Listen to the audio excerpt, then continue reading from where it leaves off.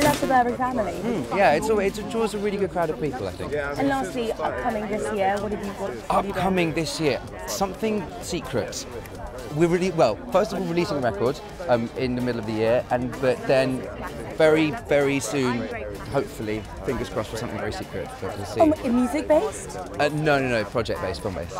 film based, with exciting directors and actors. Yes, and exciting stories.